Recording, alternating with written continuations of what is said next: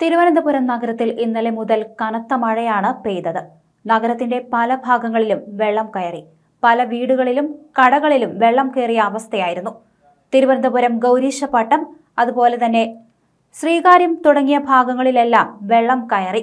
Cosmopolitan ഹോസ്പിറ്റലിന്റെ തൊട്ട് മുന്നിലുള്ള ആമയിഴഞ്ചൻ തോടിൽ നിന്ന് വെള്ളം കയറി കോസ്മോപൊളിറ്റൻ ഹോസ്പിറ്റലിന്റെ താഴത്തെ നില മൂടിയ നിലയിലായിരുന്നു. പല വീടുകളിലും ഇരുഭാഗത്തുള്ള പല വീടുകളിലും ഇത്തരത്തിൽ വെള്ളം കയറിയ അവസ്ഥയായിരുന്നു ഉണ്ടായിരുന്നത്. ഇപ്പോൾ നിൽക്കുന്നത് കോസ്മോപൊളിറ്റൻ ആശുപത്രിയുടെ പുറകുവശത്തായാണ് നമ്മളിപ്പോൾ നിൽക്കുന്നത്. ഇവിടുത്തെ പ്രദേശവാസികളുടെ വീടിൽ ഉൾപ്പെടെ വീട്ടിന് ഉൾവശത്ത് ഉൾപ്പെടെ വെള്ളം കയറിയ സാഹചര്യമാണ് ഉള്ളത്. കഴിഞ്ഞ ദിവസം പെയ്ത മഴയുടെ സാഹചര്യത്തിലാണ് ഇവരുടെ വീടിൽ ഉൾപ്പെടെ വെള്ളം കയറിയിരിക്കുന്നത്. എന്തായാലും ഇവരുടെ അവസ്ഥ എന്ന് പറയുന്നത് കുറച്ച് ദയനീയമാണ്. നമ്മളിപ്പോൾ ദൃശ്യങ്ങളിൽ കാണാവുന്നതാണ്. ഇവരിപ്പോൾ വീടിന്റെ ഉൾവശം വൃത്തിയാക്കുന്ന ദൃശ്യമാണ് നമുക്ക് കാണുവാൻ സാധിക്കുന്നത്. ചെറിയൊരു വീടാണ്. എന്തായാലും കഴിഞ്ഞ മാസവും ഇത്തരത്തിൽ മഴ പെയ്തതിന്റെ അടിസ്ഥാനത്തിൽ ഇവിടെ വെള്ളം കയറി വെള്ളം കയറിയിരുന്നു. ഇവിടെ വെള്ളം കയറുന്നത് പതിവാണ് എന്നാണ് ഇവർ പറയുന്നത്. നമുക്ക് ഈ ചേട്ടനോട് ചോദിച്ച് നമുക്ക് മനസ്സിലാക്കാം. ചേട്ടാ ഇവിടെ ഡെയിലി വെള്ളം കയറുന്ന സ്ഥലമാണോ? ഇത് വർഷത്തിൽ നാലും അഞ്ചും പ്രാവശ്യം വെള്ളം കയറും.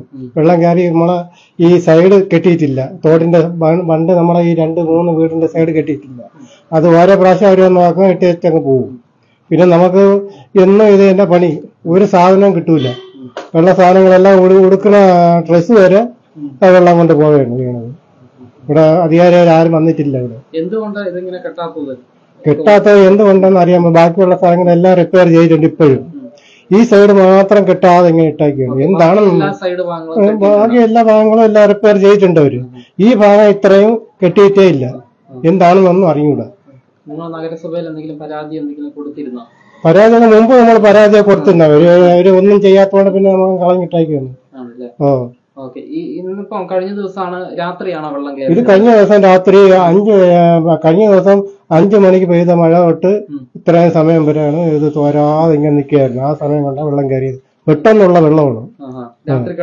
ഡാമെല്ലാം തുറക്കുമ്പോൾ വെള്ളം കംപ്ലീറ്റ് ഇങ്ങ് പോരെയാണ് കിടക്കാതെ വർത്തിയില്ല നമ്മളെ കിടക്കാൻ നിവർത്തിയില്ല. നമ്മൾ റോഡിലൊക്കെയാണ് ഇരു- ഇരുന്നൊക്കെ വെളുപ്പിക്കുന്നത്.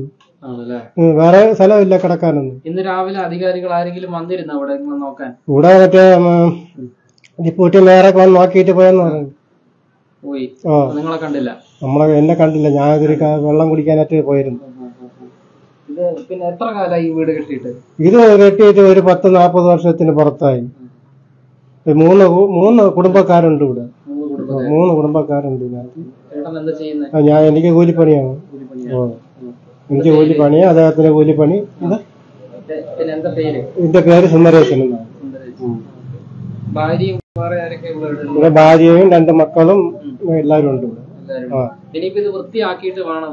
വൃത്തിയാക്കിയിട്ട് വേണം പിന്നെ ഇവിടെ കിടക്കാൻ. തൽക്കാലം നമ്മൾ ഇവിടുത്തെ ഒരു കരയോഗമുണ്ട്. ആ. ആ കരയോഗത്തിൽ ആണ് താമസിക്കുന്നത് കര തൽക്കാലം. അവിടുന്ന് രണ്ടോ മൂന്നോ ദിവസം കഴിഞ്ഞ് പോകാൻ പറഞ്ഞു കഴിഞ്ഞാൽ ഈ വെള്ളത്തിൽ തന്നെ വരണം. വീണ്ടും ആ, വീണ്ടും മഴ പെയ്താൽ ഇത് കണക്ക് തന്നെ വെള്ളം. ഓരോ പ്രാവശ്യം ഇങ്ങനെ ഇങ്ങനെ ഇടിഞ്ഞ് ഇടിഞ്ഞ് പൊയ്ക്കൊണ്ടിരിക്കുകയാണ്. അത് കാരണം ഒന്നും ചെയ്യാൻ നിവർത്തിയുമില്ല നമുക്ക് കൂലിപ്പണിയായിട്ട് നമുക്ക് വേറെ ഒന്നും ചെയ്യാൻ പറ്റില്ല. ഗവൺമെന്റ് സ്ഥലമാണ് കൈവശ രേഖ മാത്രമേ ഉള്ളൂ വേറെ ഒന്നുമില്ല മാറ്റി പാർപ്പിക്കേണ്ടതല്ലേ? ഞങ്ങളെ മാറ്റി മാറ്റി പാർപ്പിക്കേണ്ടതാണ്. അവർ ആരും മൈൻഡ് ചെയ്യാതിരുന്ന പിന്നെ എന്ത് ചെയ്യാൻ പറ്റും?